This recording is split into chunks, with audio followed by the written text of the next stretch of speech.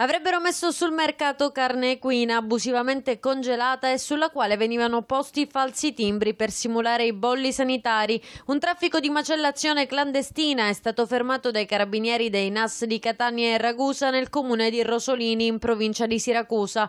Sequestrate due aziende, diverse aree inquinate, una macelleria e 5 tonnellate di carne equina per un valore complessivo di oltre un milione di euro.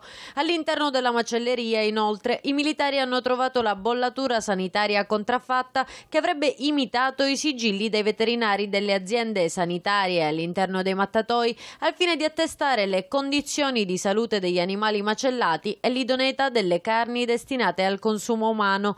Vicino al luogo di macellazione è trovata anche un'azienda agricola con annesso mattatoio clandestino, al cui interno i carabinieri hanno sorpreso un uomo intento a macellare un equino di dubbia provenienza in ambienti e con attrezzature prive delle opportune condizioni igieniche. Scovato anche un allevamento abusivo costituito da 40 equini di origine sconosciuta e nascosti ai controlli dell'autorità sanitaria, denunciati i proprietari delle strutture.